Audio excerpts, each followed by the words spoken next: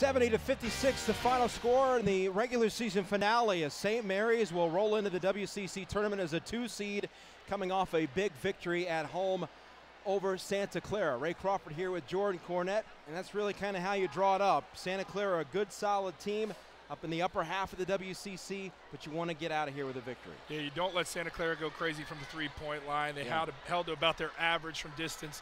You don't want Jared Brownridge to go off, held to about his average scoring the basketball, mm-hmm. and you don't want any other guy having a crazy performance. They limited that. So it starts with the defense for the St. Mary's team. You know what you're going to get offensively, but really impressed with the defensive effort as well.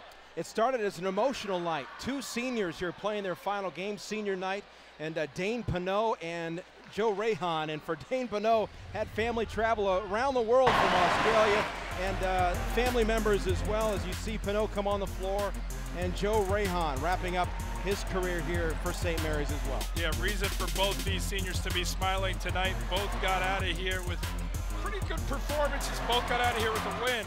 Rahon, unfortunately, is going to leave here with a little bit of a nagging injury. Hopefully it's not too serious. Dave Pineau was very productive scoring the basketball, reaching double figures.